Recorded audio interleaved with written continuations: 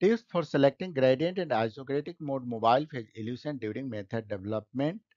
In this session, you will learn what is isocratic mode, what is gradient mode, what are advantages and disadvantages of gradient mode, what are advantages and disadvantages of isocratic mode, in which case isocratic mode should be used, in which case gradient mode should be used.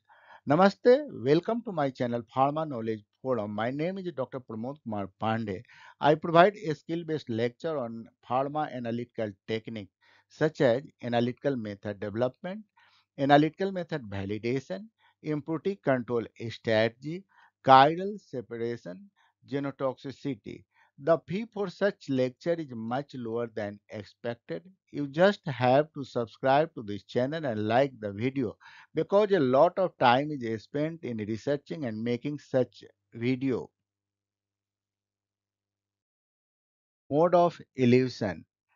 If compound is highly pure, in that case, it is very easy to decide the mode of elution.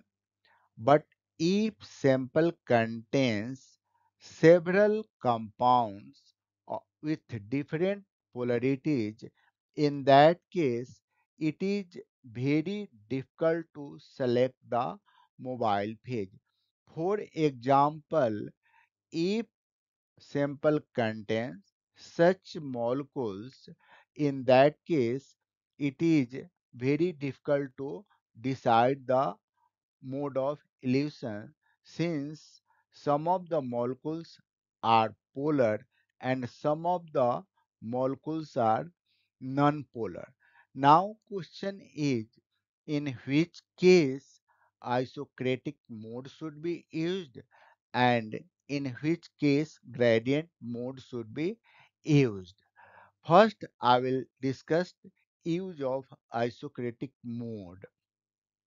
In the isocratic mode, the composition of mobile phase does not change during elution. For example, if mobile phase contains water and acetonitrile in ratio of 50 is to 50 means composition will be remain same throughout the elution means it will be 50 is to 50 throughout the analysis.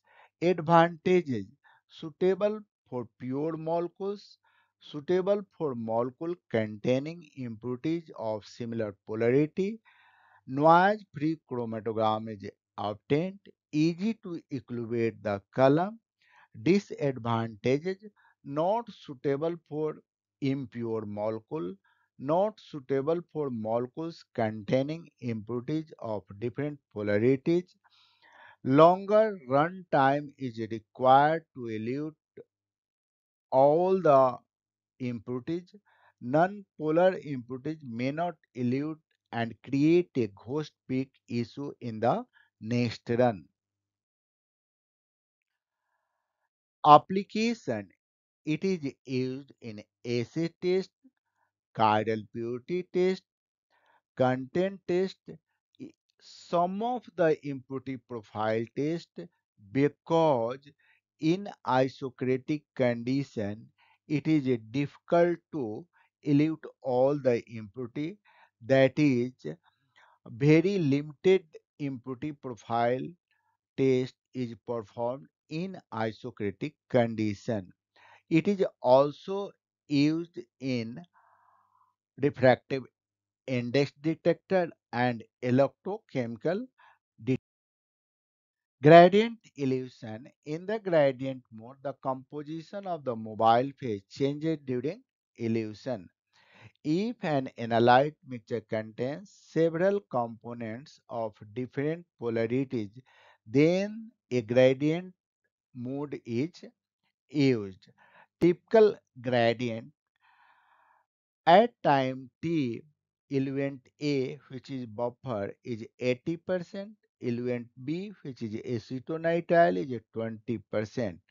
At 15 minutes, eluent A is reduced to 20% whereas eluent B is increased to 80%. Again at 20 minutes, eluent A is 20% and eluent B is 80%.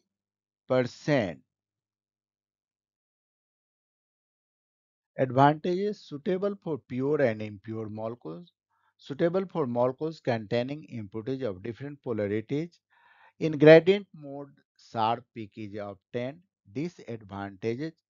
Sometimes interference of noise is obtained in the chromatogram. Column recalibration is required after every analysis requires a pump with at least two solvent capability, not compatible with refractive index and electrochemical detectors. De- delay volume becomes important. High pure solvent and reagents are required in gradient analysis. Application it is used in assay test, content test, and impurity profile test. Tips for successful gradient run Keep it as simple as possible. Be aware that delay volume will vary from instrument to instrument. Make sure post-run equilibration time is adequate to return the column to initial condition. Try to put the concentration of ion pair as low as possible in gradient mode. In case of ion pair is used in reverse phase analysis. Gradient variable, solvent selection, mobile phase composition, gradient shape, gradient steepness, duration and position of isocratic condition, pressure and flow rate. Case study. If sample contains compounds of different polarity like this, this is non-polar, this is a non-polar, this is a intermediate polar, this is a polar, this is a intermediate polar, this is a intermediate polar, this is the polar, this is polar, this is a polar. In that case, isocratic mode cannot be used because in isocratic mode, non-polar compound cannot be eluted to elute all components that is polar and non-polar gradient mode is required. This is all about this lecture. Hope you have understood in which case isocratic mode should be used and in which case gradient mode should be used Make sure you subscribe and like this lecture. Write your question related to this session in the comment section. Let us see you next session. Thank you.